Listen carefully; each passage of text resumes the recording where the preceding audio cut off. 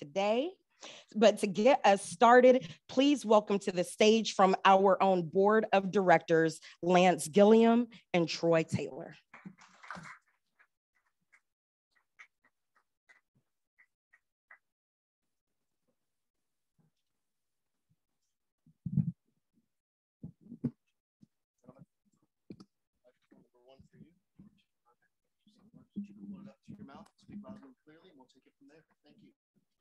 I've never had a problem speaking loudly. I know you, haven't either, Troi.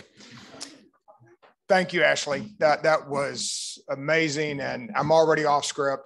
It, it's a reminder of why we do what we do. And as we sit in boardrooms, sometimes we become detached from the actual work, and our staff never lets that happen. And and we it's important to us. So thank you for the beautiful poem. I'm Lance Gilliam. I'm proud to be the chairman of the board of the Coalition for the Homeless Houston Harris County uh, as we celebrate our 40th anniversary year.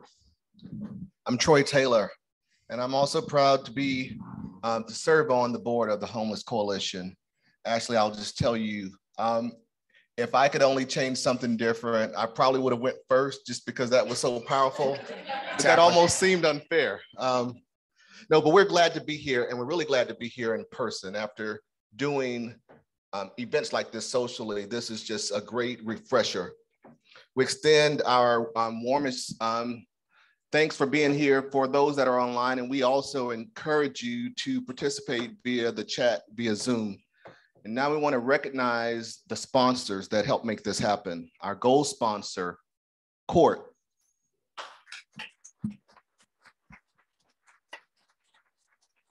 Two silver sponsors, the Ballard family and Zillow. Bronze sponsors Group One Automotive, Houston Methodist, and the Life Startup Essentials. And our final sponsor was Amegy Bank. Thank you. We, uh, we know that some of our guests will be joining us later in the conference, um, but if any of our elected officials, I haven't seen one, are here now, uh, if you'd please stand so we can recognize you. Um, Anyway, thank you, our elected officials. That we will have them join later. Um,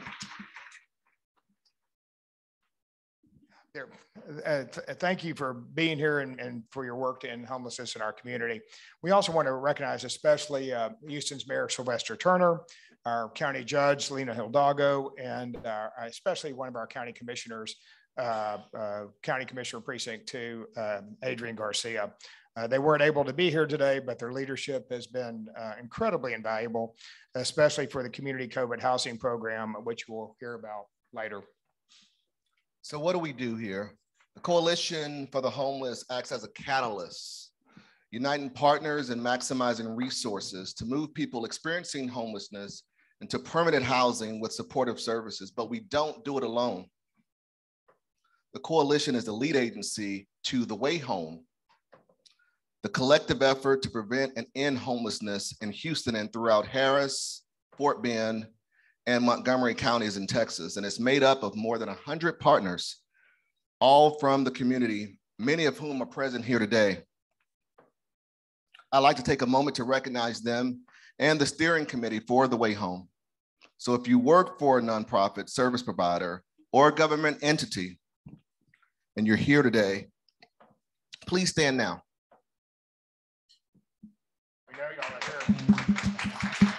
Thank you.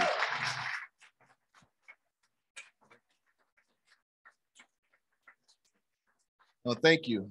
It's your commitment to this work, day in and day out, that brings us closer to making homelessness rare, brief, and non-recurring. Thank you. So collaboration is the theme of the day. In fact, it's the underlying value in our success of the coalition. It's only by working together that we've managed to become one of the most effective homeless response systems in the country. Over the past decade, together, we've ended homelessness for more than 25,000 people by placing them in permanent housing with supportive services. No one organization acting alone could achieve this, but when we work together, we make the impossible possible. This is the great part in, in our script that we've been given. Both Troi and I are given one or two minutes, only one or two minutes to say what we want to say. And I'd like to say two things. One, I want to speak to our board. we have been blessed with an incredible board. And that board was built intentionally. It was built with leaders like Troi, who serve on other boards at Metro, and throughout our partners, Search, New Hope Housing, uh, Community Land Trust. Um, I know I'm missing somebody here. Uh, uh Houston Housing, how could I forget the Port Authority and especially the Houston Housing Authority? But those leaders are in the room with us, they're in the room with others in our community have lived experience. They're in the room with us who have uh, mental health uh, expertise and other qualities that can together we as a board collaborate towards a common goal. But when we have an issue, and this goes to the second thing I want to, wanted to speak to, is we figure it out amongst ourselves. It's never occurred to us not to be successful. And we're thankful to our staff for that success. But as a quality and a value, we get up every day with the mission of just, just get it done. And if we don't get it done that day, we get back up the next day and we try again. That failure the, prior, the prior day is the value that drives us the next day. A failure is just a lesson learned and a lesson not to be repeated. So I want to thank all of our board members for all your service, the staff that supports us, that lets us celebrate our success. We know that y'all do the hard work but we love to talk about it and we're very proud of it. Troi. Uh, thank you, Lance. I'll try to make this brief and we'll see how I do. My daughter asked me this morning, she said, you're going to one board meeting and then you're headed to another board meeting. She says, so what does this one do? And we've always had a, a, a heart towards the homeless, but growing up, I always thought I knew exactly what it looked like. I thought it was the person at in front of the convenience store or the grocery store that was asking for money. And I thought it was the person at the stop sign or the red light or under the highway that had a tent. That was homelessness. That, that's what it was. And that's what I responded to.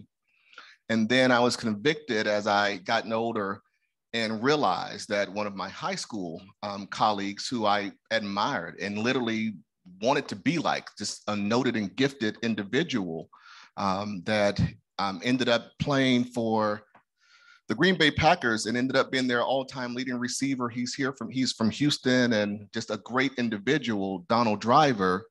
We found out that he lived in the back of a U-Haul when we were at school, and I admired Donald Driver.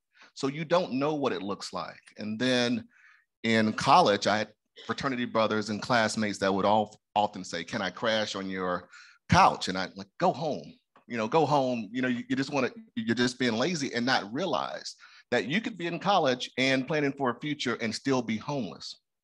So it, it, it takes a face. And I think, Ashley, you said it well. They want to be seen, they want to be heard, and they want to be valued. And I think that's what this group is doing here today. So we thank you for being here.